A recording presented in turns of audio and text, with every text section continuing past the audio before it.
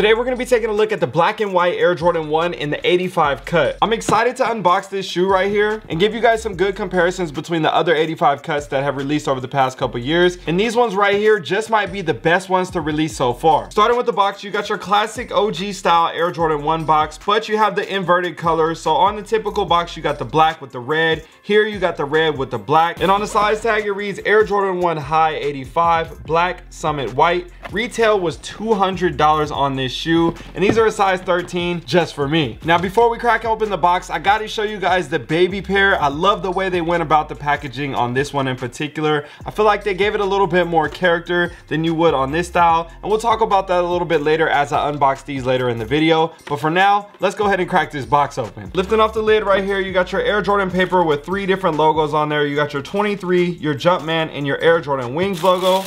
Peeling back that paper you got some white paper that wraps around the shoe and then you got the shoe. Oh, you got the shoe. Okay, now first impressions of this sneaker. Honestly, like I said, I think these just might be the best ones to release so far, and I'll break it all down in this video. But before we do that, we gotta talk about the history first. This is a classic right here. Back in 1985, we saw the original set of Air Jordan 1s hit the streets. Some of the classics that we all know still to this day. Chicago's, UNC's, Black Toes, Shadows, Breads, Royals, you name it. There were a lot of iconic colorways that dropped back then, and these were one of them. It's crazy to think after all those years, we have only seen two different retros to come from this exact colorway and that was the pair that came out in 2008 with the Jumpmans on the back and on the tongues. These were part of the CDP pack also released with the black suede 22s. I remember copping these when they first came out and rocking these over the years and I still love this shoe so you already know I'm excited to have this new 85 cut in my collection. We'll talk about styles, cuts, materials and differences on these a little bit later in the video but we got to keep going with the history. Over the years the Air Jordan 1 had always been known to be the classic and the OG because it was the first shoe, but there were definitely a lot of different models that came in and took some of the shine. When we're talking about the Air Jordan 3s from dunking from the free throw line, or the Jordan 4s just alone, everybody loves that model. The 5s, the 6s when Jordan won his first championship, other shoes from different iconic moments, and we cannot forget to mention the Air Jordan 11. For a long time, the Air Jordan 11 had been one of the most hyped and sought after sneakers when it comes to a bunch of different colorways, but the Air Jordan 1 in particular had always been releasing each and every year, multiple colorways. Day in and day out, you would always see somebody wearing a pair of Jordan 1s. Whether it may be a low, a mid, or a high, somebody had a pair of Jordan 1s on in their rotation. And I vividly remember back about 15 to 20 years ago when the Air Jordan 1 mid used to be one of the hottest Jordan 1s in the game because we really didn't get the OG high like we do now. Later in time, around the early 2010 era, we then started seeing the Jordan 1 high come back to life but then it had a retro vibe to it. So it had a Jumpman on the back and a Jumpman on the tongue and no Nike Air. About five to seven years later, we then saw more Jordan 1 OG highs come out, but they were the retro style and the retro cut. But that's all a lot of new sneakerheads had known. So at the time, it was acceptable and everybody loved it either way. 2015 rolls around and the Chicago Air Jordan 1 comes back to life and everybody is loving it simply because it's a classic OG colorway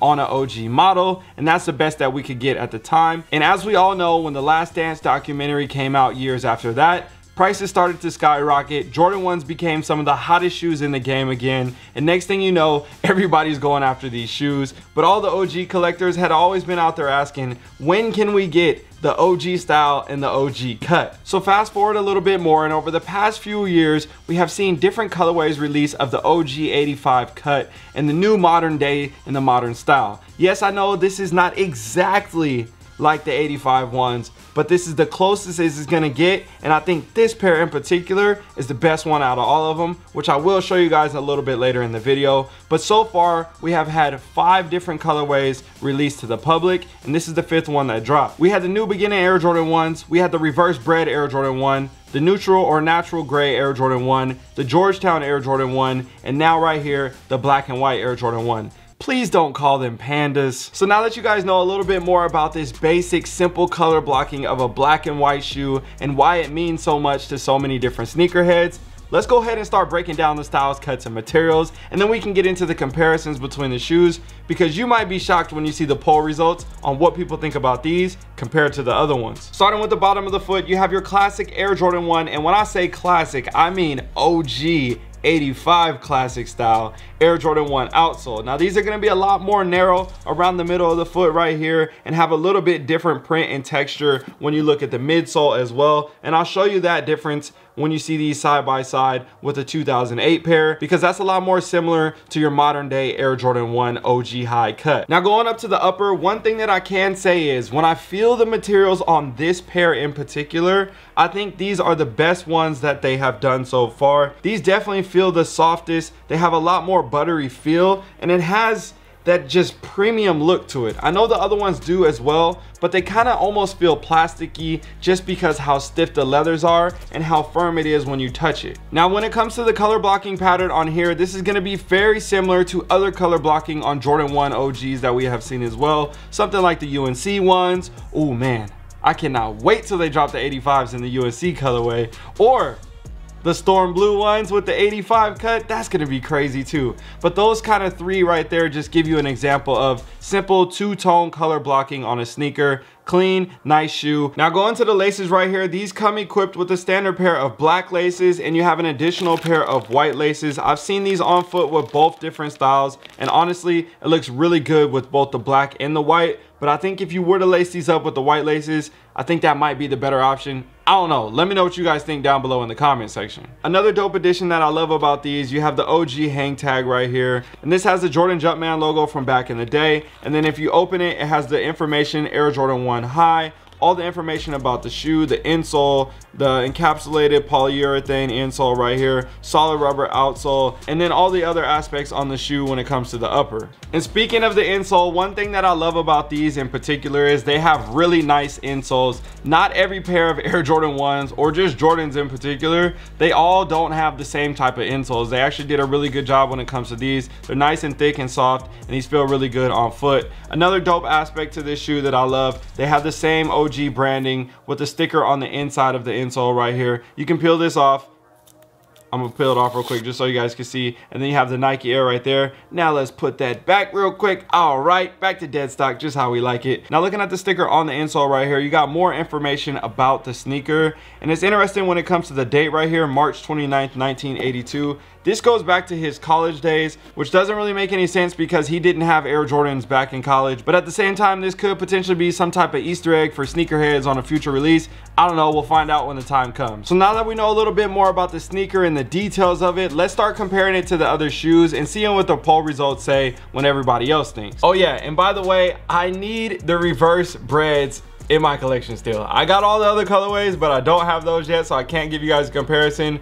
But that's just a side note for anybody that's trying to hook your boy up, size 13. I need them. Anyways, back to the comparisons right here. So when you look at the toe box, it does look pretty similar, but when you actually feel the leathers on the shoe, like I said, the black pair feels a lot more soft and buttery than the new beginnings. Another thing that I didn't mention about the Air Jordan 1 85, you got your embossed wings logos on the side of the foot, and honestly, I really love this hit. It just feels a lot more premium when it comes to these compared to the OG Air Jordan 1 High Retro that we normally get. Now, when you look at the shape of these two shoes right here, they are very similar, but this is what I want to talk about when it comes to the shape of the other colorways because those start to change a little bit. This was the first 85 retro that released to the public. Now let's talk about the other ones that dropped. Now if you look at the neutral gray Air Jordan 1 right here, these came out a little bit later and these actually changed a little bit as well. And like I said, the materials on these way more stiff compared to the black and white colorway. Now another thing is going to be different as well. You have different materials on this shoe. So you got your suede right here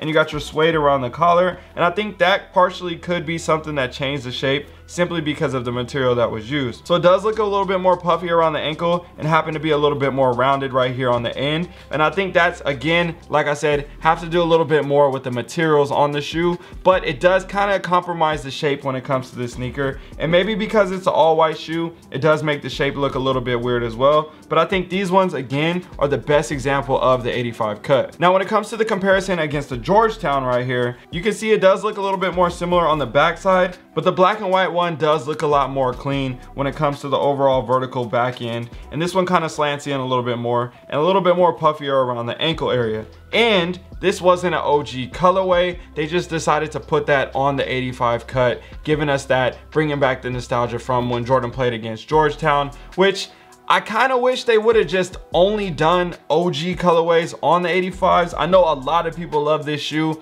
And when you look at the poll results, it's a 50-50 split right now. But the fact that these have beaten both the white and red colorway and the white and gray colorway and are a 50-50 and this is simply a black and white shoe, that does say a lot as well. But again, it's all to each his own, whichever one you like more, let me know down below in the comment section. Because I mean, you can't go wrong with a black and white colorway, and the Georgetown, it is a clean ass shoe. Now comparing these to the 2008 CDP Retro, you're going to see a lot of differences when it comes to the styles, the cuts, and materials. Yeah, the colorway is basically the same, but besides that, everything is gonna be a little bit different. So let's go ahead and run through this real quick. As you can see from the outsoles, different outsoles like i said new modern retro style more like the og when it comes to that. Midsole same thing. The print is different. I showed you guys that earlier. Color blocking is the same on the upper but the materials are way different. The toe cap looks extremely different. The laces honestly on the 2008 pair are really really nice. For some reason they just never really do these laces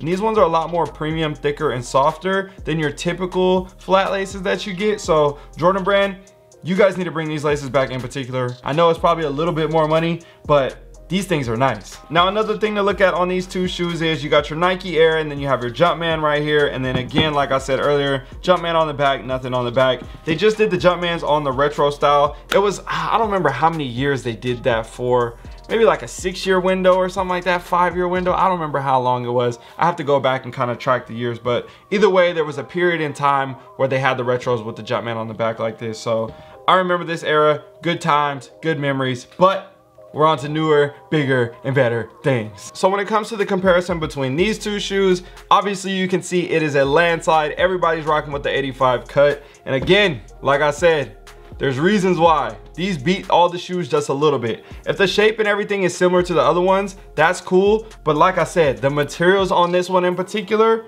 the best one yet guaranteed. Like if you have these and you have them in hand i'm sure you can attest to it down below in the comment section and tell the people what i'm talking about. So before we get into price predictions and everything when it comes to the 85 ones we got to talk about the baby pair because this one in particular is so freaking dope. I'm so happy that they did this Right here, as you can see, the box looks like a locker. You got the lock right here, number one Nike branding. It's kind of got that green and it says Baby Jordan 85 toddler, black summit white 5C. I grabbed these out there at All-Star Weekend. But look at this, bro. This is something that is so dope to me. They brought back the OG cut of the baby Air Jordan 1s. So these don't look anything like the baby ones that we see in current time, this gives you the exact OG cut. Check out the midsole. It almost looks like a Cortez, bro. Like these things are crazy, super dope. When I saw these and I had the chance to get them, I knew immediately I had to cop.